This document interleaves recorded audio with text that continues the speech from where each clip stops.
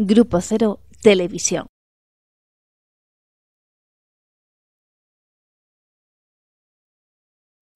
Casi una autobiografía de casi un premio Nobel. Homenaje a Menaza en la Biblioteca Nacional de Buenos Aires. Presenta el acto el director de la misma, Héctor Janover, jueves 24 de agosto de 1990. Héctor Janover se hizo famoso porque escribió un poema de Hiroshima. Claro, como largo, un listo. Antonio Aliber. Yo quiero hacer referencia a uno de los libros de Miguel Oscar Menaza, y no uno cualquiera de sus libros, sino su más reciente libro. No quiero decir el último libro porque suena como a que dejaría de escribir a partir de este momento el más reciente libro suyo. Sé que después de este habrá muchos libros más. Es un libro que me llamó poderosamente la atención, especialmente porque se diferencia de sus otros libros por un lenguaje mucho más llano. Pero eso lo voy a decir a partir del texto en sí mismo. Amores perdidos. El hombre recorre su camino con sus amores perdidos. Podríamos afirmar que es también sus amores perdidos. Sin ellos sería otro hombre, con otras circunstancias, con otro devenir. Sus amores perdidos lo fortalecen, le dan dimensión y en definitiva le otorgan una identidad. Nunca como en este libro el más reciente del autor, al menos eso creo, tratándose de Miguel Oscar Menaza, eso nunca se sabe, a juzgar por el ritmo de su creación, es probable que ahora nos sorprenda con que este no es el más reciente, que hay otro más. Nunca, decía, lo hemos visto tan despojado de ornamentos, tan llano y a la vez con la sutileza flor de piel para nombrar con dolor, pero también con hidalguía, las cosas del alma.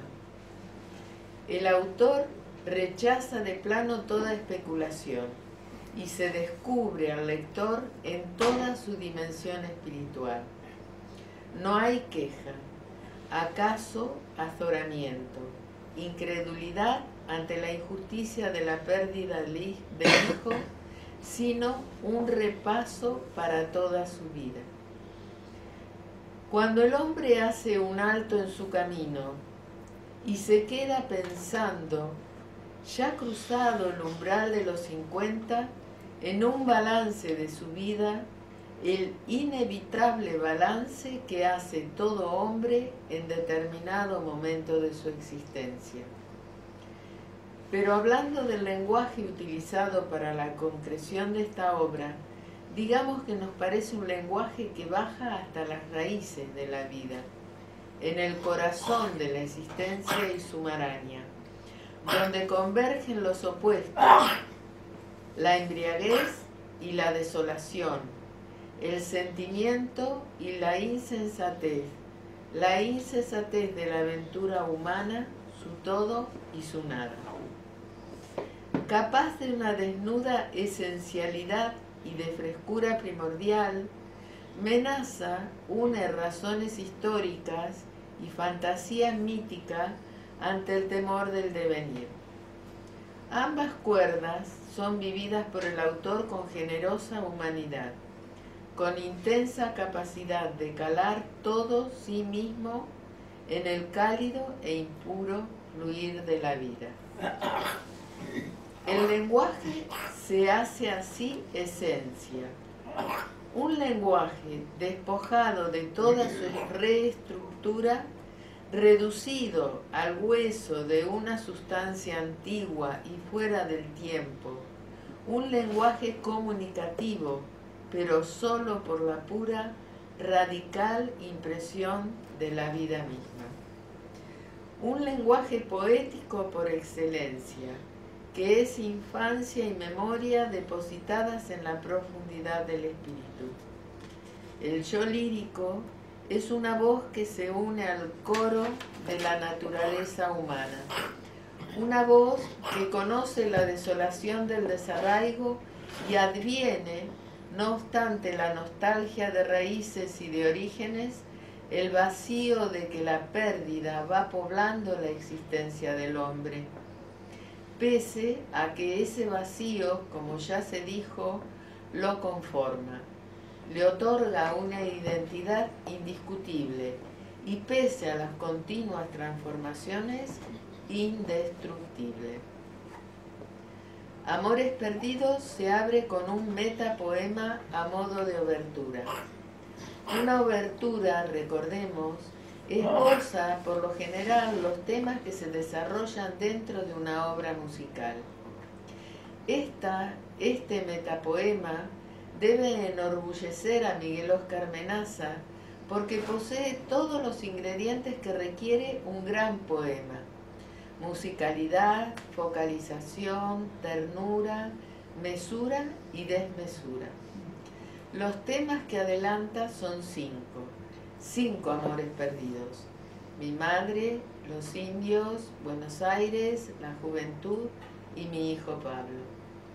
En el libro, cerrando, aparece un sexto tema que no es un amor perdido, sino una declaración de amor que perdura en el tiempo. En el poema prólogo, luego de repasar entrañablemente los amores perdidos, Miguel Oscar Menaza concluye, y ya no hubo ni sueños ni montañas, ni dolor suficiente, ni siquiera palabras ni los grandes jefes indios bajo el cielo, ni gargantas de odio, ni manos de venganza. Solo estos versos sueltos, esta nada de nada. Es que nada se sostiene ya ante la muerte de un hijo. Todo de pronto se convierte en nada. Y si bien el hombre va acumulando sus cosas porque hay que seguir viviendo, y el poeta solo vive creando, la sensación de vacío es inevitable. Tres poemas recuerdan a su madre. El primero, el más extenso, evoca la figura materna desde la pérdida, fundiendo pasado y presente en un diálogo imaginario donde el hijo promete, no te preocupes, madre, si no triunfo, te prometo caer derrotado de manera grandiosa.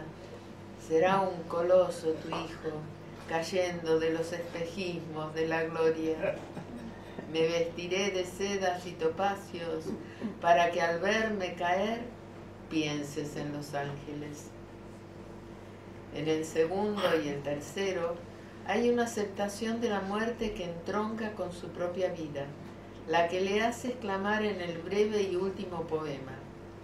Hoy me siento espectacular, muy cerca de tu muerte, hice brillar una pequeña piedra, cual si fuera un tesoro completo. Hoy quisiera poder un paroxismo inexistente, secar la última lágrima del último hombre. En Miguel Oscar Menaza todo confluye en poesía. La poesía se justifica por sí misma. La poesía lo justifica todo, a pesar de aquella reacción plenamente natural del final del metapoema, donde la tilda de nada. Siguen seis poemas americanos. En la parte titulada Los indios, Menaza, que hace varios años vive en España, dice en el poema 3 de esta serie. Y soy americano y soy de América. Mi voz es una voz americana. Mis lujurias, mis locas ambiciones de volar son americanas. Y Madrid, mi querida, mis pequeños huérfanos parisinos, no es Europa ni lo será en mil años. Madrid, destrozo central del gran diamante americano, la lengua que genera un don que la supera, la increíble madre que se quedó sin dueño y se deja llevar tranquilamente por sus hijos. El tiempo no es un ser, pero el ser no puede ser fuera del tiempo, y tiempo es una lengua, una escritura. Historias de sangre y de oros, retratadas en el soneto libre del primer poema. Escribir un soneto para un indio es cosa fácil, o en el sexto, donde la martirización de Tupac Amaru se entronca con la figura del poeta en nuestros días. Buenos Aires es uno de los amores perdidos. Hay apenas una panorámica del paisaje. En los siete poemas, la civilización carnal del abandono, del, del, regreso a las mismas carencias, a los hombres desesperados de amor, mujeres al viento, hombres, mujeres, flameando banderas de impiedad. ¿Qué canta? Habla de una Buenos Aires que nos duele y al mismo tiempo nos seduce. Hay un animal en mí que vuelve siempre. Y Buenos Aires es también juventud, el tema que sigue en el libro. Este amor perdido, la juventud, es natural. 14 poemas con interlocutores diversos, con giros diferentes que pretenden cubrir un arco muy amplio. Desfilan los amores, los sueños, época en la cual se forja la ética de un modo de enfrentar la vida y sus acontecimientos.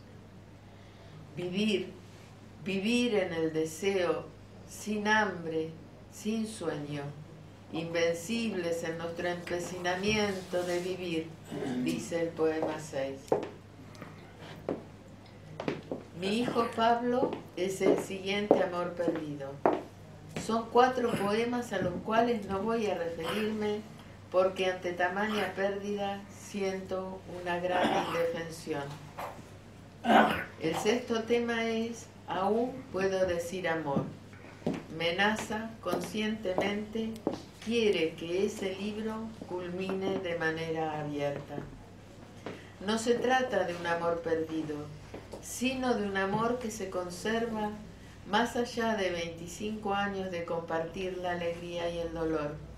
Y sin embargo, aquí estamos una vez más, valientes y al mismo tiempo temerosos, con el ansia infinita o eterna de comenzar a pesar del profundo dolor irremediable, una nueva, esperanzada, abierta vida.